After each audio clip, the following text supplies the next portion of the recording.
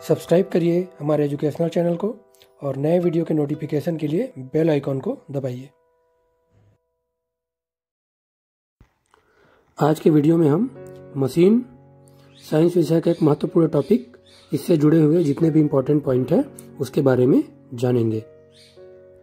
महत्वपूर्ण जो हमारा टॉपिक है मशीन और जैसा कि हर वीडियो हमारा कक्षाओं के साथ ही साथ विभिन्न कॉम्पिटिटिव एग्ज़ाम के लिए महत्वपूर्ण है। इसके, इस टॉपिक से जुड़े हुए जितने भी इम्पोर्टेंट पॉइंट्स हैं, जो कि जीके और सामान्य ज्ञान की दृष्टि से महत्वपूर्ण है, उसको आज हम जानेंगे। तो जानते हैं मशीन हम सभी विभिन्न प्रकार की मशीनों से घिरे हुए हैं। साथ ही साथ अपने दैनिक जीवन में विभिन्न प्रकार के मशीनों का प्रयोग लगभग हर दिन करते हैं। चाहे वह सरल मशीन हो, चाहे जटिल मशीन हो तो मशीनों की सहायता से कोई कार्य क्या होता है? आसानी से किया जा सकता है। मशीनें स्वमेव कार्य नहीं करती है। मशीन अपने आप कार्य नहीं करती है। इससे कार्य लेने के लिए क्या देना पड़ता है उसको? ऊर्जा दिया जाना आवश्यक होता है। वह ऊर्जा किसी भी रूप में हो सकता है। ऊर्जा से संबंधित एक वीडियो हमने पूर्व में बनाया था। उसे आप डिस्क्रिप्शन बॉक्स में देख सकते हैं जाकर। और कुछ कार्य ऐसे होते हैं जिसे बल लगाकर आसानी से किया जा सकता है। वे कौन कौन से कार्य हैं? जैसे कि शीतल पेय की बोतल का ढक्कन खोलना, कोई भी हम सॉफ्ट ड्रिंक पीते हैं कोको कोला थम्सअप माजा जो भी तो उसकी बोतल को ढक्कन को खोलना, तेल से भरे ड्रम को ट्रक पर चढ़ाना या ट्रक के पहियों को बदलना। इन सभी कार्यों को क्या है? बल लगाकर आसानी से किया जा सकता है। अब जानते हैं, मशीनों का उपयोग निम्नलिखित उद्देश्यों को पूरा करने के लिए किया जाता है। मतलब मशीनों का उपयोग क्यों करते हैं? तो क्यों करते हैं उसको जानते हैं, बल को सुविधाजनक बिंदु पर लगाने के लिए बल की दिशा को इच्छानुसार परिवर्तित करने के लिए भारी बोझ को कम बल लगाकर उठाने के लिए और गति को बढ़ाने के लिए। इन सभी उद्देश्यों को पूरा करने के लिए मशीन का उपयोग किया जाता है। अब जानते हैं हम मशीनों के प्रकार। तो जैसा हम जान रहे हैं, मशीनों के मुख्य रूप से दो प्रकार है। पहला है सरल मशीन और दूसरा है जटिल मशीन। पहले जानते हैं सरल मशीन के बारे में। हम अपने दैनिक जीवन में विभिन्न प्रकार की मशीनों का क्या करते हैं, उपयोग करते हैं, जिसमें चाकू, पेंच, चिमटी, घिरनी आदि प्रमुख है। ये सभी क्या होते हैं? सरल मशीन के उदाहरण है। यहाँ चित्र में भी आप देख पा रहे हैं जो सरल मशीन के कुछ उदाहरण जो हम दैनिक जीवन में उपयोग करते हैं। अब सरल मशीन क्या होते हैं? सरल मशीन वे युक्तियाँ हैं जो बल के प्रभाव को क्या करती है? बढ़ा सकती है या बल की दिशा को क्या करती है? परिवर्तित कर सकती है या दोनों कार्य कर सकती है।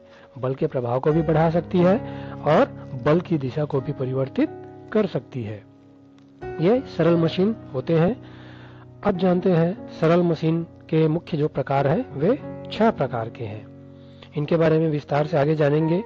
उत्तोलक, पहला, दूसरा अनतल तीसरा, फन्नी, चौथा, पेच या स्क्रू, पांचवा, घिरनी और छठवा है पहिया की धुरी।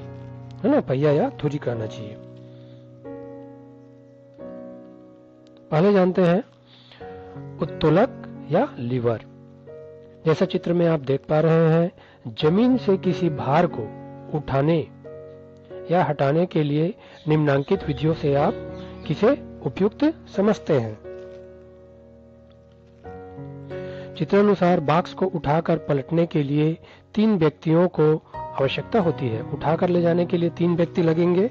जैसा चित्र में आप देख पा रहे हैं जबकि छड़ अथवा सब्बल द्वारा एक टेक का उपयोग करके केवल एक व्यक्ति ही उस बॉक्स को उठाकर पलट सकता है। यहाँ पर मज़बूत छड़ या सब्बल क्या है उत्तोलक है। जैसा चित्र में आप देख पा रहे हैं इस तरीके से, यहाँ पे ये जो छड़ है या सब्बल है, वह एक उत्तोलक है।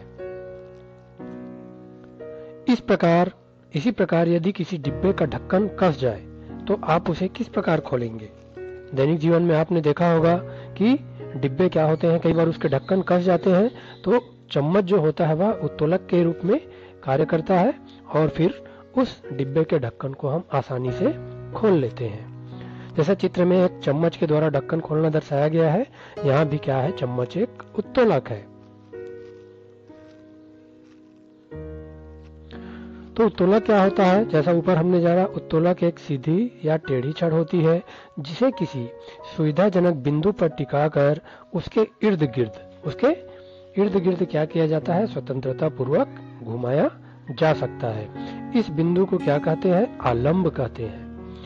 और उत्तोलक द्वारा उठाई जाने वाली वस्तु को क्या कहते हैं? भार या प्रतिरोध कहते हैं, तथा उत्तोलक पर जो बल लगाया जाता है, उसे आयास कहते हैं। अब जानते हैं, चित्र नीचे जो दिया गया है उसमें आलम्ब को एप से, भार को एल से और आयास को ई से प्रदर्शित किया जाता है।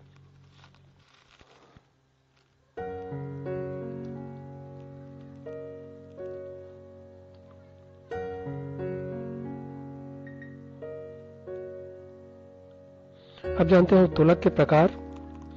पहला है प्रथम श्रेणी का उत्तोलक। इस श्रेणी के उत्तोलक में आलम भार और आलम जो होता है, भार और आयास के मध्य में होता है। इसके उदाहरण है जैसे कैंची, पेंचीस, सीसा, झूला। प्रथम श्रेणी के उत्तोलक के उदाहरण है। द्वितीय श्रेणी का उत्तोलक, इस श्रेणी के उत्तोलक में जो भार होता है, वह आलम्ब और आयास के मध्य होता है। बीच में होता है, जैसे उदाहरण है इसके ठेला सरौता ठंडे पेय की बोतल खोलने वाला उपकरण जो होता है, ठंडे पेय की बोतल खोलने वाला उपकरण, ये द्वितीय श्रेणी के उत्तोलक होते हैं। अगला है तृतीय श्रेणी का उत्तोलक। इस श्रेणी के उत्तोलक में जो आयास होता है, वह आलम्ब और भार के मध्य होता है। जैसे उदाहरण है, चिमटा, बंसी और फावड़ा। ये चित्र में आप देख पा रहे हैं, उत्तोलक के जो उदाहरण है, यह प्रथम श्रेणी का उत्तोलक है। जिसमें आलम जो है, आयाश और प्रतिरोध के बीच में है।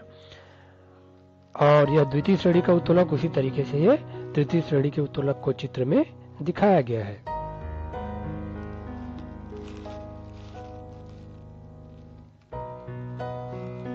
अब जानते हैं आनत तल। आपने कई बार देखा होगा कि स्कूटर या किसी गाड़ी को ऊंचाई पर चढ़ाने के लिए एक ढलान बना दिया जाता है। हमने अपने दैनिक जीवन में यह कार्य किया होगा, कोई भी गाड़ी को जब किसी ऊपरी स्थान पर चढ़ाना पड़ता है तो एक ढलान बना दिया जाता है। ट्रक या बैलगाड़ी पर तेल से भरा ड्रम चढ़ाने के लिए पटिए का उपयोग किया जाता है। इस प्रकार उपयोग किए गए जो पटिया होता है, उसी को क्या कहा जा सकता है? आनत तल कहते हैं। आनत तल एक चिकना, दृढ़ और चपटा समतल होता है। जो क्षैतिज के साथ कुछ कोण बनाता हुआ झुका रहता है। जैसा चित्र में आप देख पा रहे हैं, सीधे चढ़ाना इस तरीके से बिना अनत तल के और यहाँ पे अनत तल का उपयोग, यहाँ पटिए का उपयोग किया जा रहा है। उसी तरीके से पहाड़ की घुमावदार सड़क एक तरीके से आनत तल का सीधे चढ़ना क्या होता है? पहाड़ पे कठिन होता है। इसलिए घुमावदार एक आनत तल बनाकर पहाड़ की चोटी तक पहुँचा जा सकता है। साथ ही साथ आप अस्पतालों में देखे होंगे कि मरीजों को ऊपर ले जाने के लिए क्या किया जाता है? आनत तल बनाया जाता है। सीढ़ियों के बजाय आनत तल से ले जाना आसान होता है। अब जानते हैं फन्नी या वेज। यह लकड़ी या धातु का क्या होता है? एक टुकड़ा होता है, जिसका एक सिरा चौड़ा और दूसरा सिरा क्या होता है? नुकीला या धारदार होता है। इसका प्रयोग काटने, फाड़ने या दो चिपकी हुई वस्तुओं को अलग करने हेतु किया जाता है।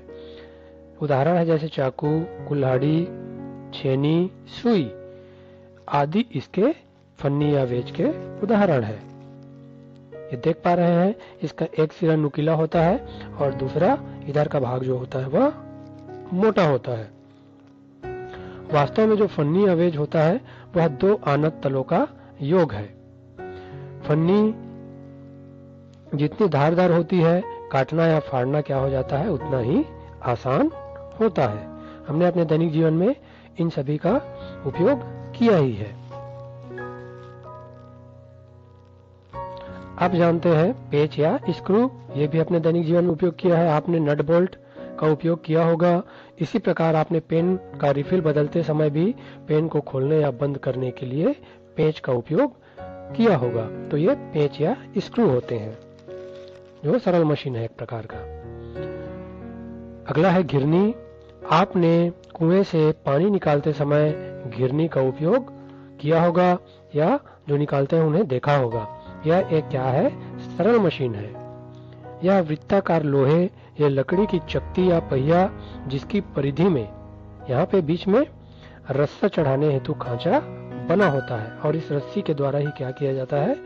नीचे की बाल्टी या कोई भी वस्तु को जैसा चित्र में दिखाया जा रहा है, गिरनी के द्वारा खींचा जाता है नीचे से ऊपर की ओर। अगला है पहिया और धुरी। पहिया और धुरी दो विभिन्न व्यास के बेलन होते हैं, जो एक उभयनिष्ठ अक्ष पर साथ साथ घूमते हैं। पेचकस, मोटर कार का स्टीयरिंग व्हील साइकिल का पैडल आदि, पहिया और धुरी का क्या है? उदाहरण है। जैसे चित्र में देख पा रहे हैं, पहिया और धुरी के उदाहरण।